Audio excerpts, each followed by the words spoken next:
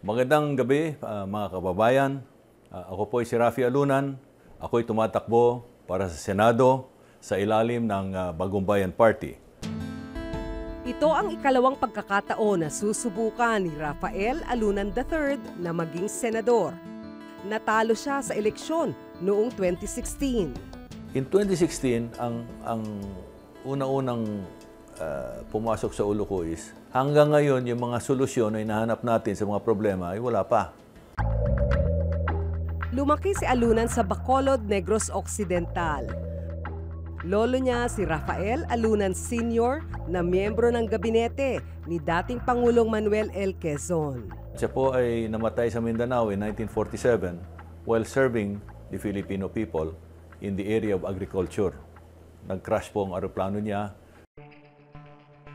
Nagtapos si Aluna ng kursong Political Science at Commerce sa De La Salle University noong 1970. 1997 nang matapos niya ang Master of Arts in Public Administration sa Kennedy School of Government sa Harvard. 1983 naman nang pumasok siya sa Ateneo Graduate School sa ilalim ng Special Program for Executives. Pero hindi niya ito natapos. Na putol po ito ah, dahil sa assassination po ni Ninoy Aquino noong 1983 hanggang 1986 po kung nung ah, pumutok na yung People Power Revolution. Naging kalihim si Aluna ng Department of Tourism o DOT noong 1991. Itinalaga rin siyang kalihim ng Department of the Interior and Local Government o DILG noong 1992. Inilunsad niya sa ahensya ang O-Plan Pagbabago. Ang ginawa ko was uh, I used uh, the rule of law and my power, my powers of, uh, of the executive, no, uh, to make sure that our people follow the code of conduct for public officials and the code of ethics. Matapos manilbihan sa gobyerno ay nagsimula siyang pumasok sa mga pribadong kumpanya. Isa lang po, yung uh, personal, uh, yung real estate ko po, uh, because uh, I have lots in a uh, subdivision that was developed uh, by a real estate developer. Pero I'm also a professional executive and uh, I sit on the board of uh, a multinational company. Naging mamamahayag din siya sa radyo at kolumnista sa pahayagan noong 2016. Sa kasalukuyan ay wala raw siyang nakikitang pag-atake sa press freedom. Eh, the question is, how is it properly regulated to maximize its contribution to the economy and more especially to human security? Press freedom is everything because uh, it's even if we have a wild pre- uh, press, sometimes going beyond the limits of uh, uh, responsible journalism.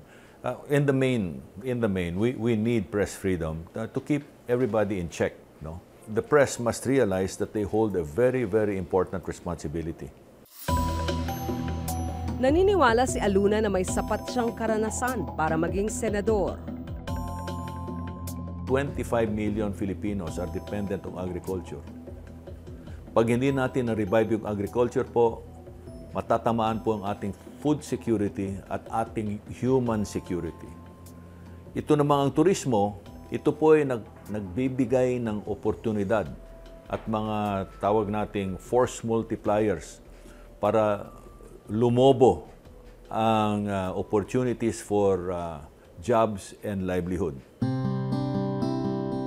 Sa muling pagsabak ni Alunan sa Senado ay tututukan daw niya ang turismo at agrikultura.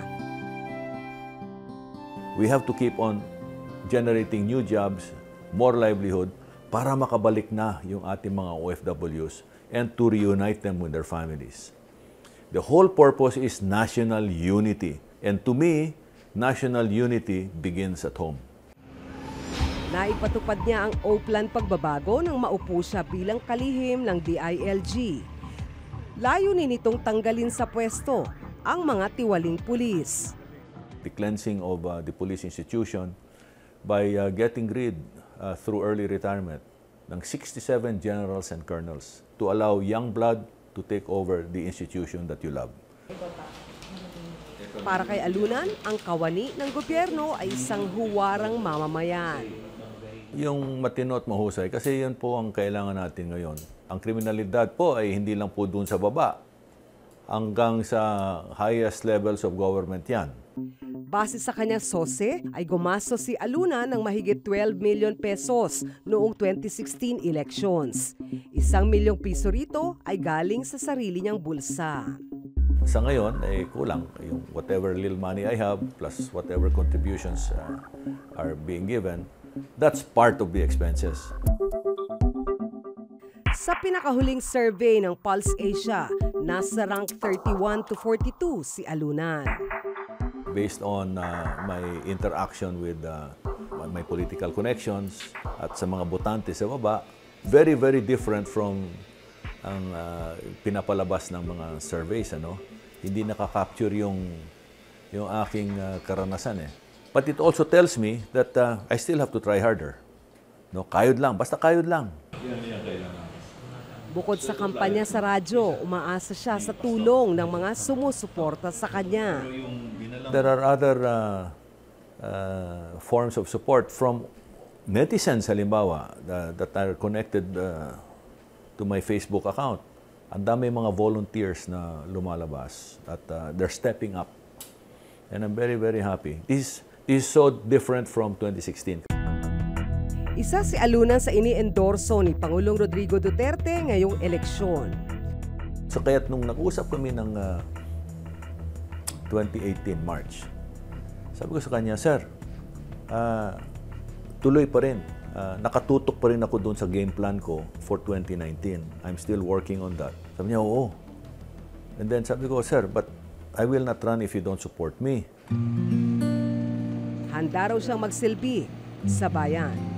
I would like to tell them that I was part of a group of patriots that did everything that they could to win the future for you and for succeeding Filipino generations.